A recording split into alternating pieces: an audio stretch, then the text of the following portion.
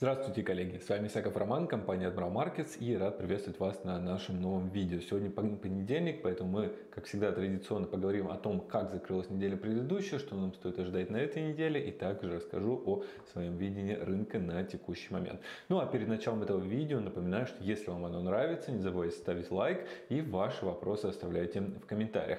А, итак, сейчас важно э, также напомнить о э, вероятности второй волны коронавируса. Собственно, сейчас эта тема, она не сходит э, с заголовков э, газет, новостей и так далее. Ну, собственно, это и э, понятно. После того, как карантинные меры были отменены, вероятно, вторая волна уже последовала. Ну, вот дальше остается вопрос, насколько критичной для экономики, ну, для в целом других стран она будет. Поэтому давайте перед началом, как всегда, посмотрим на карту распространения коронавируса, ну, фактически мы приближаемся к значению уже в 9 миллионов, да, к понедельнику 22 июня. И что здесь э, наиболее, э, ну, на что важно обратить внимание, во-первых, Бразилия уже перевалила за миллион, и новая э, волна как распространения идет по США. Давайте сначала посмотрим на общую картину. Собственно, здесь мы видим пока общую динамику вновь новых случаев заражения, то здесь мы видим вновь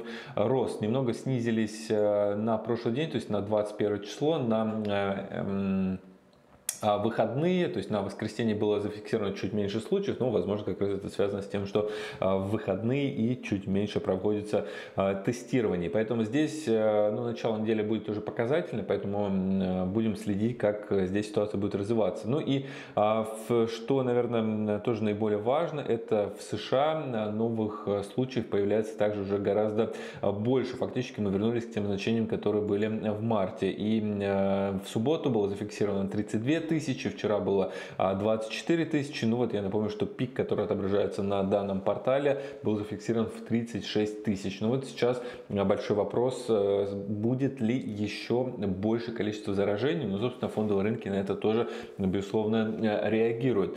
А вообще, э, то есть в целом экономики поддерживают очень сильно. США продолжают печатать денег, деньги, госдолг увеличивается. То есть фактически раздувается вновь э, ситуация вокруг э, э, ну, такой пузырь да, на фондовом рынке, в экономиках, и это не только в США, это и также в европейских странах приводит, происходит. Но здесь остается только надеяться, что центральные банки сделают все возможное, чтобы не допустить второго падения, хотя многие ждут и его, и все еще продолжают, и многие говорят о том, что оно может быть еще более сильным. Но здесь наша задача с вами не предполагать, а э, отслеживать текущие тенденции, да, текущие ситуации и фактически к ним а, присоединяться. С точки зрения новостей, эта неделя, это предпоследняя неделя месяца, э, она пройдет довольно-таки спокойно, то есть не, так, не такое большое количество данных публикуется. Сегодня будет опубликован данные по продажам на вторичном рынке жилья, здесь ожидается рост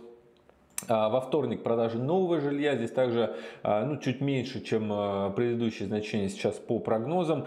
Также в среду будут опубликованы, как всегда, запасы по сырой нефти. Сейчас мы видим, что нефть вновь на локальных максимумах находится. Ну и вот, наверное, то, что наиболее важно, это данные по ВВП, которые мы будем ждать в четверг. Вот фактически эти данные, они покажут, насколько, насколько экономика действительно сейчас пострадала, потому что, ну, фактически ВВП является основным из э, индикаторов. Сейчас ожидается снижение на минус 5%. Ну и вот, э, скорее всего, самая сильная реакция на этой неделе, она последует вот именно на эти данные, ну, если, конечно, ничего другого на рынке не появится.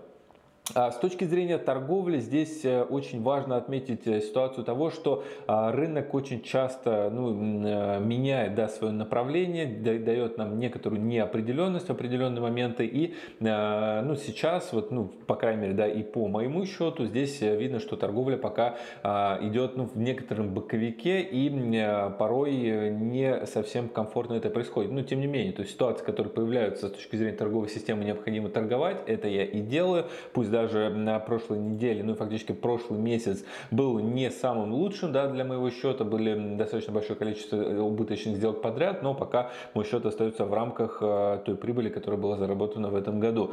А поэтому здесь, э, с точки зрения продолжения торговли, я, наверное, уже буду чуть более аккуратным. Я помню, я помню что мы с вами смотрели и не про, короткие сделки по продолжительности, например, по нефти. Да, я тоже для себя пробовал эту стратегию, но пока она не реализовалась у меня, то есть я пока все-таки решил сконцентрироваться именно на среднесрочной торговле, то есть, собственно, той, той стиль торговли, который у меня был, и пока а, вновь мой счет не восстановится, никаких экспериментов для себя на этом счете не а, допускать. Соответственно, на текущий момент по евро евро. Здесь мы видим продолжение укрепления американского доллара. Э, сегодня мы торговались вблизи минимальных значений пятницы и общая динамика здесь сохраняется нисходящей. То здесь я для себя также продолжу искать возможности а, покупать, да, покупать в сторону основного тренда, то есть тренда именно на укрепление евро по отношению к американскому доллару. Ну и, собственно, пока мы видим падение на фондовом рынке, собственно, здесь американский доллар также и корректируется. Здесь довольно-таки неплохие уровни сформированы на текущий момент. Если цена сможет закрепиться выше, 5, э, выше максимума 5 пятницы, то здесь я для себя рассмотрю а, покупки с целями роста до 1.14. В принципе, здесь можно получить довольно-таки неплохое соотношение риск-прибыль.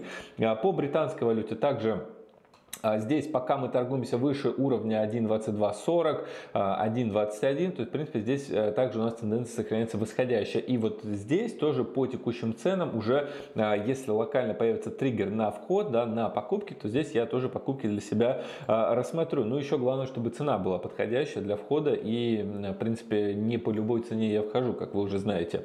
Соответственно, здесь я буду следить за максимумом который был также сформирован в пятницу. Здесь, если цена сможет закрепиться выше данного уровня, то уже будет перекос в сторону покупателей. Здесь я для себя тоже покупки уже рассмотрю по данной паре. А пара американский доллар, канадский доллар. Здесь э, мы видим попытки начала также нисходящего движения. Собственно, сейчас э, цена торгуется в области 1.3590. 1.3589 и э, здесь э, тоже вероятен переход уже непосредственно в продажу, да, то есть в сторону основного тренда. А цель снижения здесь э, ну, довольно-таки очевидна, это ближайшая цель это 1.3121, область минимальных значений, которые как раз были в июне. Ну а с точки зрения часового таймфрейма пока мы видим попытки уйти вверх. Вот сегодня как раз уже немножко переписали максимум, которые были сформированы в пятницу. Если говорить о продажах, то здесь я буду ждать закрепления ниже минимальных значений 5 пятницы, вот тогда уже буду открывать э, продажи со стопом как раз за локальный максимум. Но, скорее всего, так как сегодня цена уходила уже выше, то буду здесь ждать э, уже завтрашней торговой сессии, то есть буду открывать сделки завтра, а не сегодня, чтобы убирать как раз стоп за максимум предыдущей торговой сессии.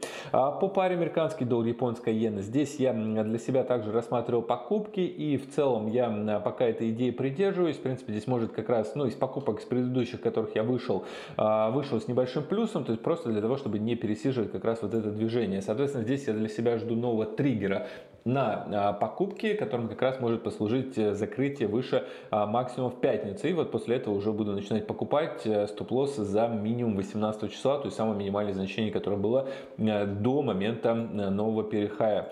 А по паре австралийский доллар, американский доллар здесь сегодня с открытия мы уже подрастаем, то есть общий тренд здесь сохраняется восходящий, поэтому, как я и говорил, а, для меня также основная идея будет здесь э, поиск э, покупок на, э, после завершения вот данных коррекций, которые здесь были. Если смотреть часовой таймфрейм, то, собственно, сегодня открылись да, с небольшим гэпом, обновили локальный минимум. Вот здесь ситуация ну, для входа не самая оптимальная, так же, как, например, по индексу S&P 500. То здесь я все-таки буду ждать более, а, ну, наверное, новых уровней и, возможно, цена уйдет еще чуть ниже, и вот тогда уже будет более более комфортно к ней присоединиться, потому что здесь мы видим и а, новый локальный минимум сегодня, а, достаточно близко к минимальному значению 15 числа, то здесь ну, достаточно много факторов, которые не дают а, ну, даже 90% вероятности продолжения движения, поэтому здесь по австралийцу пока я возьму паузу. А новозеландец, ну он фактически очень повторяет э, движение по австралийцу, в принципе они движутся сонаправленно, и здесь тоже основная идея это как раз покупать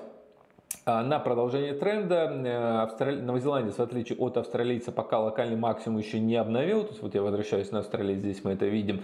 А, и по новозеландцу э, также интересно искать э, покупки, но а, сегодня вот мы торгуемся уже ниже минимальных значений, поэтому вполне вероятно еще одна волна снижения. Вот после нее уже будет интересно закупиться как раз по данной паре. Золото. Вот золото новый э, локальный максимум сегодня показывает за э, июнь, да, то есть, ну, по крайней мере, не исторический, но за июнь мы уже торгуемся на локальных максимумах, что вызывает также интерес у инвесторов. Золото э, как актив убежища, собственно, многие активы паркуются именно э, сюда. Ну, собственно, золото поэтому и э, подрастает. Поэтому сейчас, э, ну, мы находимся уже достаточно высоко, покупать сейчас поздновато. Ну, собственно, как среднесрочная, долгосрочная идея, на коррекциях это можно делать. Ну, я думаю, что многие, многие многие из вас заметили, что по золоту у меня достаточно немного сделок, так как не всегда здесь комфортно получается присоединиться с точки зрения моей торговой системы. Но в целом, да, здесь рост э, сохраняется и фактически этот сценарий здесь и реализуется. А, по индексам. Вот индексы вселяют сейчас самую большую неопределенность. А, по индексам мы видим достаточно большое насыщение деньгами, а, хотя, собственно, в странах не все так хорошо. Госдолг увеличивается по многим странам. В США он достиг уже 26 триллионов. И, собственно, это вызывает некоторые опасения, а смогут ли с такими долгами, что называется, жить. Да, ставки приближаются к минусовым значениям. Ну, в Европе они уже давно минусовые, в Японии они давно минусовые. Но вот в США они тоже к этому подходят, и фактически это очень большой удар для банковского сектора. Собственно, сейчас по DAX мы тоже видели торговлю уже ниже минимальных значений, которые были сформированы а, в пятницу. Сейчас немножко отыграли это падение, но в целом пока здесь я а, ожидаю еще одной волны снижения, и тогда уже буду рассматривать заход на покупку. А по S&P а здесь я тоже для себя пробовал заходить э, в пятницу, как раз э, последний торговый а, день, как раз когда происходила экспирация фьючерса на S&P 500. Кстати, вот мы ждали с вами э, данной ситуации, что посмотреть, повлияет ли как-то это на рынок. Пока ничего существенного здесь я не вижу. Возможно, нужно подождать пару дней, потому что вот а, последняя экспирация, которая как раз была три месяца назад, то есть она привела к началу восходящего движения, то есть к началу того ралли, который мы видели по фондовым индексам. И собственно, сделка, которую я открывал, ну, достаточно близко к точкам а, входа, то здесь она была заточена на то, что с текущих уровней сразу у нас рост возобновится, так как был обновлен локальный максимум, да, мы не ушли выше а, максимальных значений, которые были за несколько дней до, но, тем не менее, то есть в сторону тренда решил я эту сделку попробовать. А, риск был взять даже чуть меньше, поэтому я достаточно близко ставил точку для входа, был, входил отложенным ордером, и стоп у меня стоял за минимальными значениями как раз 16 и 18 июня. А, но к концу торговой сессии все-таки а, рынок оказался довольно-таки слабым, продавили а, область минимальных значений, сегодня даже открылись с небольшим гэпом, пока отыграли, закрыли тот гэп, но, собственно, сейчас новых покупок, естественно, я открывать не буду, так как вероятность еще одного снижения, она здесь сохраняется. Ну и, собственно, что может привести как раз к росту американского доллара. По нефти здесь мы видим также попытки уйти выше максимальных значений, которые были в начале июня, сформированы по CFD на нефть марки Brent это 42.54, то есть пока э, достаточно близко к этому уровню торгуемся. Если говорить локально, то да, здесь сохраняется движение. Были, э, видели мы э, довольно-таки повышенную волатильность в пятницу, то есть нефть ходила там 4% за день, что довольно-таки много, и тем не менее пока общий настрой сохраняется восходящий. То вот сейчас вот большой вопрос, может ли цена уйти выше как раз максимум начала июня. Вполне вероятно, что отсюда мы можем увидеть коррекцию и уже покупать, соответственно, после завершения данной коррекции. По а, фьючерсу на WTI, то здесь пока э, нужно проверить, не закончился ли данный уже фьючерс, так как здесь пока котировка у меня а, не активна. Но сделаем это уже непосредственно к следующему видео. Ну, собственно, если опять же резюмировать текущую ситуацию, то мы с вами видим то, что пока рынкам, рынкам страшно, рынки пугаются расти дальше, но тем не менее ситуация, которая происходит на фондовом рынке, она может дать, опять же, интересную возможность э, закупиться по более интересной цене. То есть также я дополнительно для себя, помимо трейдинга, собираю портфель из акций. Пока сейчас я собираю портфель из дивидендных акций, которые, в принципе, э, ну, на мой взгляд, достаточно неплохо подросли за последние пару месяцев. Но вот та коррекция, которая будет, то есть я э, покупаю каждый месяц, но вот сейчас пока я в ожидании. То есть мне нужно сделать покупку в этом месяце, но я жду, пока будет некоторые признаки остановки падения по фондовым индексам для того, чтобы как раз а, зайти ну, чуть лучше. То есть если мы будем падать еще всю неделю, то, скорее всего, я а, сделку по а, акциям открою ну, в конце этой недели или в начале следующей недели. Опять же, в зависимости от того, какая акция будет максимально интересно выглядеть. Но также ссылку по моему портфелю инвестиционному оставляю на, в описании к этому видео. Переходите, смотрите. Также и, и я, в принципе, для себя считаю, что эти две вещи должны идти параллельно. То есть иногда с точки зрения трейдинга рынок ходит в боковиках, то есть на рынке очень некомфортно находить точку для входа, может быть череда, например, убытков, и в этом случае уже инвестирование непосредственно в фондовый рынок, оно, безусловно, может в этом помочь и нивелировать. Ну и это а, все-таки менее затратно по времени, да, с точки зрения того, что открыл позицию, держишь ее достаточно продолжительный период времени. Опять же, об этом мы будем тоже говорить дальше. Ну а на сегодня это все. Всем желаю хорошей торговой недели. А, мы с вами увидимся уже на следующем видео. Скорее всего, это будет а, в пятницу. И соответственно, посмотрим, чем закрылась текущая э, торговая неделя. Поэтому всем желаю спасибо за внимание. Не забывайте ставить лайк, если нравится видео. Вопросы оставляйте в комментариях. Всем спасибо за внимание и до свидания.